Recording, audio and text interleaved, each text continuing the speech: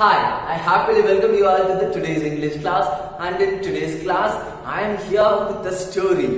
Yes, we are going to discuss a story and it's the 8th chapter in our English textbook. The 8th chapter, the title of the story is Christmas. Actually, this story is an extract from the novel Little Women. Little Women is written by the author Louisa May Alcott. Louisa May Alcott has written a great number of stories for children as well as for adults. After getting famous on writing children's stories, she stopped writing for adults and started writing more stories for children. And this story is a special one to her because it's a semi-autobiographical story. Yes, it's the life story of the author Louisa May Alcott. We are going to see what happened in her life in this story. Louisa May Alcott, including her, they were four sisters. They were poor. They were leading a struggling life. But once, when they were little, they were rich. Her father lost all the money by giving a loan to a friend. That friend hadn't repaid him. So he lost all his money and he joined army. It all happened during 1800s. And during 1861 to 1865, there was American Civil War. American Civil War between the US, United States and 11 southern states. The major cause of the war was to abolish the slavery and bonded labor. That was the major reason for the war. And it's the day before Christmas. Christmas is on the next day. They were discussing. What was that discussion? That's what we are going to see in this story. Before getting into it, let us know the characters of this story. The first character, the eldest one, Meg. Actually, the, her name is Margaret March, shortly called as Meg. She is the eldest one, age 16, 16 year old girl. And second, the author, Louisa May Alcott, has used her name as Jo, Josephine March. Her name here is Josephine March, shortly called as Jo. She liked everyone to call her as Jo because she was tomboyish. She liked to be boy. She had boy-like characters. And she was 15. The third one, Beth. Elizabeth March, shortly called as Beth. 13 year old girl. And the last one, the youngest one, Amy March, shortly called as Amy. The youngest one. And Mrs. March.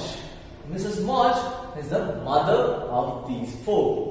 Her children used to call her Mommy in an affectionate way. Let me describe you these four girls. Meg, a pretty girl with large eyes and plenty of soft brown hair, a sweet mouth and white hands. And the next one, Josephine March. Very tall and thin girl. She had a decided mouth. She had a comical nose and sharp eyes, which always appeared to see everything. Her long thick hair was her beauty, but she doesn't want to be like a girl. So, so she bundled up together into a net. And the third one, Elizabeth March. A rosy, smooth-haired, bright-eyed girl. She was a peaceful girl. She was shy and rarely she would get angry. Though they were poor, she lived in a happy world of her own. And the youngest one, Amy March, the important person, not to others, but to herself. In her own opinion, she was the important person. She had blue eyes and yellow hair curling on her shoulders. That's all. Let's get into the story. What happened on the day before the Christmas? Christmas won't be Christmas if there were no presents, said Jo. And from other side, Meg, she replied, It's so bad to be poor. And Yegi from other side, she said, I don't think it's fair for some girls have everything and some girls have nothing. But Beth, from another side, she added, But we got mother, father, and we each other. And all other sisters, they were happy to hear those words. Later, they get sad after Joseph, We haven't got father, and shall not have him longer. We know it. Father was in army, so he cannot be there. After hearing those words, everyone was silent.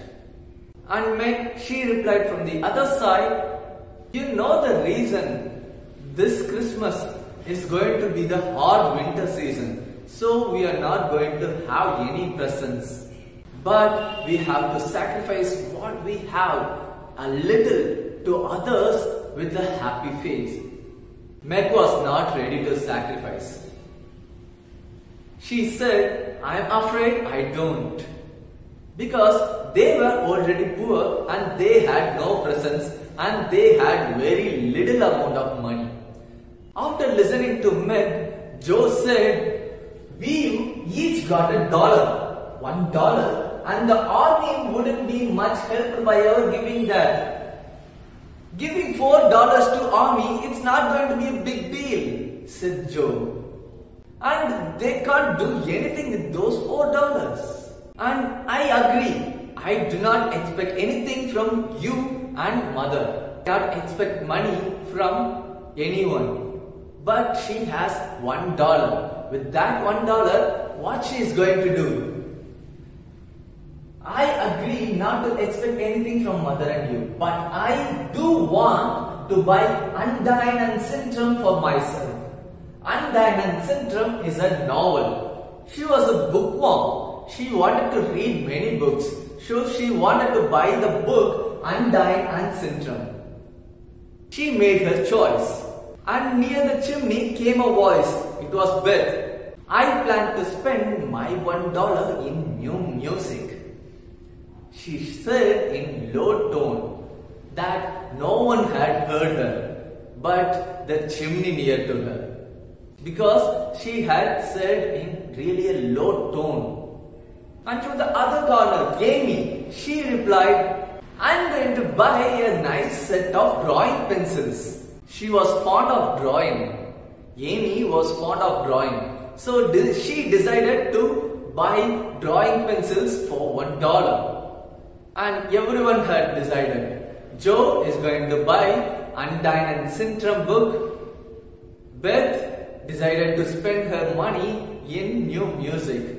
And Amy, she decided to buy drawing pencils. Meg, she didn't say anything. Jo, after hearing to Amy's words, she said, Mother didn't say anything about money and I believe she won't ask us all the money. Let us buy some for ourselves and have fun. We had worked really hard to earn this one dollar. Yes, they really worked a lot to gain this one dollar. How they have worked. On hearing the words of Jo, Meg started speaking. I know I do. Teaching all the children in home for entire day when I am longing myself to enjoy being out there. The 16 year old girl, she spent most of the time inside her home teaching the children and earning the money. She was not able to enjoy outside. That's what she was complaining to everyone. You know it very well. When one complaint arises, others will start their complaints. Just like the same way as Meg started her first complaint, the next one, Josephine March, she explained her problem. You are not working so hard as much as I do. I'm doing the worst job in the world. What's that? Josephine March was an elderly caretaker. Yes, near to their home there was a old lady. She was alone in her home and she was cared by Josephine March. You know it very well. Old lady, she wanted always to be silent. and being silent for long hours in that room and always she complains whatever I did she would not get satisfied by my work and it, it didn't stop there. Beth from other side. Comparing other works, I think washing dishes Comparing other works, I think washing dishes and keeping tidy and doing chores and cleaning the entire house is the worst work in the world. And I do it every day. And she also added, this makes my hands so hard. I was not able to play music. And the youngest from the other side, Amy, she shared her complaint. What was her complaint? She was just going to school. But she said, I don't believe any of you suffer as I do. I am suffering the most. I am going to school every day with rude girls. They laugh at me every time I make mistake. They laugh at my dresses and insult when the nose is not nice. Four of them shared their problems. Yes, that's what happened when four girls were together. Everyone gathered together and Meg said, Don't you wish we had the money Papa lost when we were little? Yes. When they were little, they were rich. They had some money to enjoy. After father lost all the money, they became very poor. The conversation, it was moving from track to track. First, they spoke about Christmas presents. Next, they shared their problems. And then they were now thinking when they were little, they were rich. And now Meg was saying to Beth, Beth, you said the other day we were a lot happier than king's children, for they were always fighting. Even though they had more riches, they were always fighting for the throne and always nervous that they would be killed by others. And to that, Beth replied, Yes, I said so. And well, I think we are. For though we have to work, we make fun of ourselves. Though we are working harder we make fun of ourselves. We have some fun time. And a pretty jolly set. As Jo would say. Jo would call them as jolly set. Yes, these kind of slang words would always be told by Jo. On hearing that, Amy, she started. Jo uses such slang words.